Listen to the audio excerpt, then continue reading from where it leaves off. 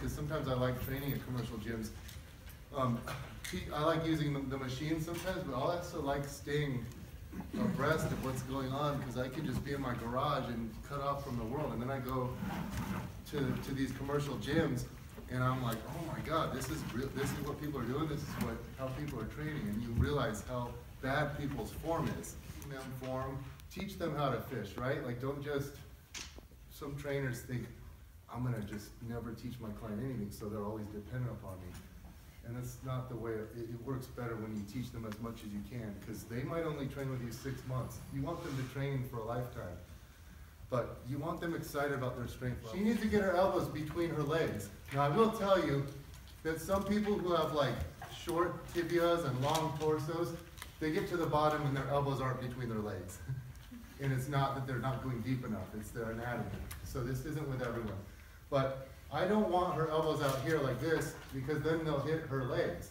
I need her elbows in. So elbows in, notice how she's holding the dumbbell. It's like a goblet. That's why it's called a goblet squat. And then she goes down, she takes a moderate width stance and her knees are way out. And her elbows will be right in between the legs, right there. That's what you want. Elbows between the legs. She's nice and upright. This is perfect squat. I'm also looking at the feet. And I'm looking at the feet and I want to make sure that she doesn't push and pronate. I want to make sure her feet don't cave in. Or I don't want to make sure she doesn't rise up off of her heels onto her toes. Okay, let me see. Do another rep. Okay, her feet look good, so she's pressing. So I don't think this is dangerous, but the way I try to teach it, the way I do it, is my gaze will go like this. I kind of keep the, my head and neck in, in alignment with my spine, but it's not critical, so you don't need to be the guy on Instagram that's like, you know, cervical hyperextension, you suck. So, so from here, I sit back, watch my shins, they stay vertical, okay? You will not see my knees move forward at all. I sit back, the bar scrapes my legs, so think paint your legs or skim your legs.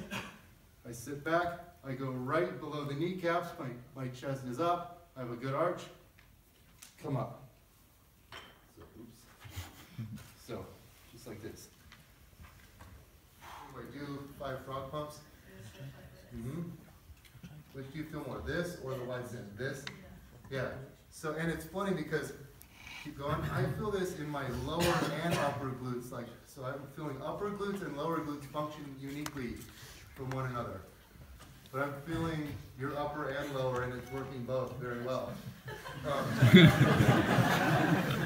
um, so, like, let's say I weigh, uh, I weigh like two hundred and forty pounds right now, whatever that is in kgs. What is that, like one twelve or something? I don't know. So say I weigh hundred and twelve kgs, and I stay this way, and I get way stronger. I put hundred pounds on my squat, fifty pounds on my bench, and hundred and twenty-five pounds on my deadlift in the next year, and I weigh the same. What will have to happen for me to gain all that strength? I have to gain some muscle. I mean, unless I just get amazing with my technique, but that doesn't usually happen, especially someone who's been lifting as long as me. So I have to gain muscle. So say I put on 10 pounds of muscle during this process. What also has to happen since I did not gain any weight? I have to lose 10 pounds of fat. So if you could, if we could take 10 pounds, slap, on every one of you, slap 10 pounds of muscle on you and take 10 pounds of fat off, you'd look a lot, you'd look, I want to say better, but you'd look a lot, different. you'd be, God, I'm like afraid to say anything in this day and age. Um, you would probably be closer to being happy with your, you know, like for powerlifting. What I need to do, and I'm gonna roll the bar all the way to the edge, to here. Because I don't want it back here, because I'm not gonna unrack it here. And I need to know to set up, so I get it all the way to the front. And then I want this bar about above my mouth and nose area. So now I have it in the right place, okay? And I kind of walk myself into position. So what this means is I want my shoulder blades together. I want them retracted. I don't want to be out like this. I want to be in like this. but I also want as much arch as I can get. So different people, different powerlifters have different ways of setting up. uh, from Bret, who did a practical presentation, which I thought was really, it was refreshing and engaging. And Bret is a really funny guy, um, so it was quite cool to see. Less practical for myself because I'm an online coach, so I don't get in there um, dirty, although I do want to, and I have done it before. Uh, everything he gave was really, really beneficial.